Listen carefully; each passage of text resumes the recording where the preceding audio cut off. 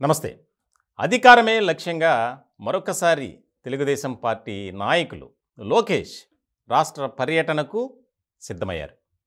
ముఖ్యంగా యువగలం కార్యక్రమం చాలా సక్సెస్ అయింది. ముఖ్యంగా దాని ద్వారా తెలుగుదేశం పార్టీ క్యాడర్లో కానీ ఇటు ప్రజల్లో కానీ ఒక రకమైనటువంటి ఉత్సాహం వచ్చిందనే చెప్పాలి. సక్సెస్ఫుల్గా సాగింది. ఇటువంటి తరుణంలో డిసెంబర్ పద్దెనిమిదిన దాన్ని పూర్తి చేశారు. అప్పటి నుంచి పూర్తిగా స్థాయిలో పార్టీ వ్యవహారాలు అలాగే ఇతర కార్యక్రమాల్లో బిజీ బిజీగా లోకేష్ ఉన్నారు. ఇట్లాంటి క్రమంలో శంకారావం పేరుతో ముఖ్యంగా ఈ యొక్క నినాదం ఏదైతే ఉందో నియోజకవర్గ స్థాయిలో ఉన్నటువంటి తెలుగుదేశం పార్టీ నాయకులను క్యాడర్ని బలోపేతం చేయాలి. త్వరలో జరిగే ఎన్నికలకు సంబంధించి సమాయత్తం చేయాలి. అది ఒక టాస్క్. దీనిలో భాగంగా యాభై రోజుల పాటు పెట్టుకున్నారు టార్గెట్. ముఖ్యంగా ప్రతిరోజు మూడు నియోజకవర్గాల్లో పర్యటించాలి. సాధ్యాసాధ్యాలను బట్టి వారి రూట్ మ్యాప్ను బట్టి. ఇలాంటి క్రమంలో ఈ నెల పదకొండవ తేదీ నుంచి లోకేష్ శంకారావం కార్యక్రమానికి రెడీ అవుతున్నారు. ముఖ్యంగా పదకొండవ తేదీన ఇచ్చాపురం టెక్కలి పలాస మూడు నియోజకవర్గాలు. పన్నెండవ తేదీన నరసన్నపేట శ్రీకాకుళం ఆముదాల వలస. అలాగే పదమూడున పాతపట్నం పాలకొండ కురుపాం.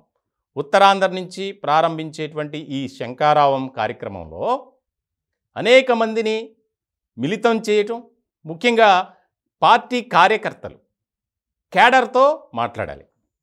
సో అదేవిధంగా అక్కడక్కడ పబ్లిక్ మీటింగ్ కూడా అరేంజ్ చేయాలి అనే ఆలోచనలో పార్టీ వర్గాలు చూస్తుంది. ముఖ్యంగా చాలా కీలకమైనటువంటి పరిణామంగా మారబోతుంది. ఇప్పటికే రాష్ట్ర రాజకీయాల్లో తెలుగుదేశం పార్టీ జనసేన పొత్తుతో ముందుకు వెళ్తుంది. దానికి సంబంధించి వస్తున్నటువంటి సర్వే రిపోర్ట్లు కూడా మనం చూస్తున్నాం. తాజాగా ఒక రిపోర్ట్ వచ్చింది ఇండియా టుడే. అందులో కూడా తెలుగుదేశం జనసేనకే ఫేవరబుల్గా ఉంది. ఇట్లాంటి క్రమంలో ఆ టెంపో ఏదైతే ఉందో ఆ టెంపోని ఎక్కడా కూడా మనం లూజ్ చేసుకోకూడదు. చాలా బలంగా వెళ్ళాలి. ముఖ్యంగా ప్రభుత్వం అనుసరించినటువంటి వ్యతిరేక విధానాలు.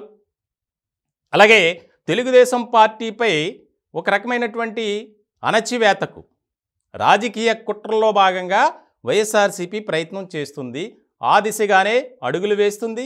ఈ అరెస్టులు కానీ ఈ దాడులు కానీ ఈ అంశాలన్నిటినీ పార్టీలో ఉన్నటువంటి కింద స్థాయి కార్యకర్తలతో మాట్లాడాలి. దీన్నే శంకారావం పేరుతో లోకేష్ పర్యటన ఉండబోతుంది. చాలా హైలైట్ అవ్వబోతుందనే చెప్పాలి. ఇప్పటికే రెండు పార్టీలు కూడా ఒక ఐక్యంగా ముందుకు వెళ్తున్నాయి. ఐక్య కార్యాచరణ ఉమ్మడి మేనిఫెస్టో ఈ అంశాల్లో చాలా కీలకమైనటువంటి నిర్ణయాలు తీసుకుంటున్నారు. మరోపక్క రాష్ట్రంలో ఇప్పుడు భారతీయ జనతా పార్టీ కాల్ చేయటం అలాగే ఆ పెద్దలతో నారా చంద్రబాబు నాయుడు గారు మాట్లాడటం ఆ పొత్తు అంశంపై ఎక్కడా కూడా ఇప్పటికీ క్లారిటీ అనేది రాలా. సో ఇటువంటి నేపథ్యంలో వచ్చినా రాకపోయినా తెలుగుదేశం పార్టీ జనసేన కలిసి రాష్ట్రంలో అధికారాన్ని కైవసం చేసుకోవాలి. ఇదే నినాదంతో రెండు పార్టీలు ఉన్నాయి. దీనికి సంబంధించి త్వరలోనే అభ్యర్థుల ప్రకటన కూడా ఉండబోతుంది. చాలా కసరత్తు చేశారు నారా చంద్రబాబు నాయుడు గారు. ముఖ్యంగా రెండు పార్టీల నేతలు జనసేనాని పవన్ కళ్యాణ్ కానీ చంద్రబాబు నాయుడు గారు కానీ ఇద్దరు కూర్చొని మాట్లాడుకొని దానికి సంబంధించి ఏ నియోజకవర్గం జనసేనకు కేటాయించాలి? అక్కడ ఉన్నటువంటి పరిస్థితులను బట్టి. అక్కడ ఒకవేళ అప్పటి వరకు తెలుగుదేశం పార్టీ అభ్యర్థి ఉంటే గనక ఆ ప్లేస్లో ఒకవేళ జనసేన క్యాండిడేట్ని పెట్టాలంటే టీడీపీ అభ్యర్థిని ఏ విధంగా సముదాయించాలి? బుజ్జగించాలి అనేది కూడా ఒక బిగ్ టాస్కే. కాబట్టి వీటన్నిటిల్లో భాగంగా లోకేష్ పర్యటన చాలా కీలకం కాబోతుంది అనేది రాజకీయ వర్గాల్లో వినిపిస్తున్నటువంటి టాక్.